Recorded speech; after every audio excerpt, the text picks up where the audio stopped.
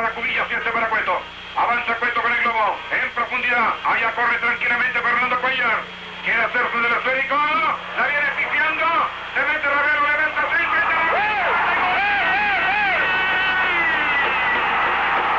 ¡Gol!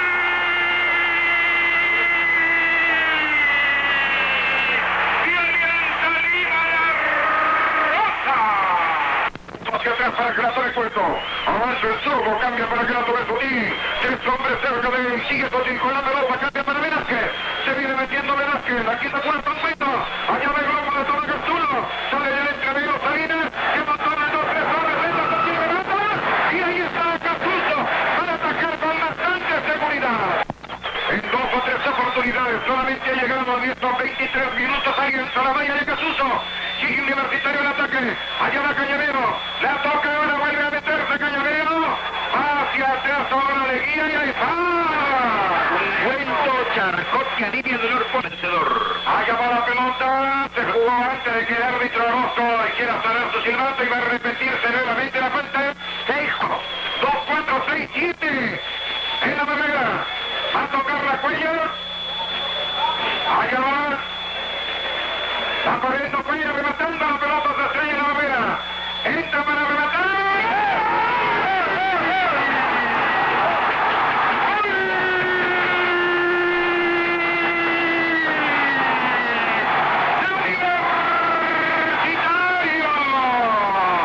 Y de su vehículo y saca de ventilador La pelota dentro del área la toma José González, ganó y la suelta de inmediato.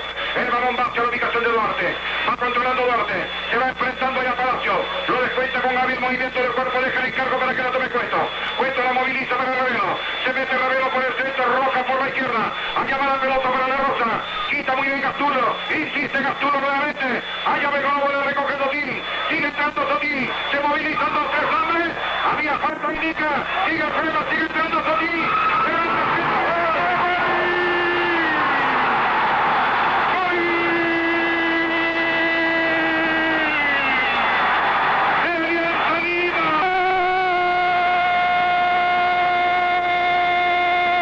Una jugada de crack de Sotil, sensacional, el solo Sotil. Y otra vez hay que decirlo, nuevamente la Rosa, en cada oportunidad que lo precisa Alianza Lima en el solo Sotil. La pelota, lo de la U, explican que le dio en la mano. Yo clarísimamente vi que se la llevó con el pecho. Pecho del solo Sotil, se llevó la magnífico, justo, preciso.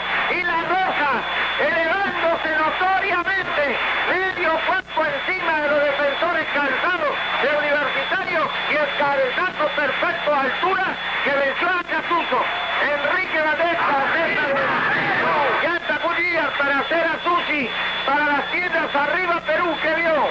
Bueno, tienen razón en reclamar los jugadores de Universitario de Deportes, porque Sotil se llevó la pelota con la mano y ingresó por la izquierda para realizar el centro, que fue muy bien ubicado en dirección de los hombres de Alianza Lima para que produjeran el gol. Pero antes debió sancionar el juez Orozco, que estaba encima, una mano de Sotil que se llevó la pelota con la mano ante su presencia sin que él le cobrara nada.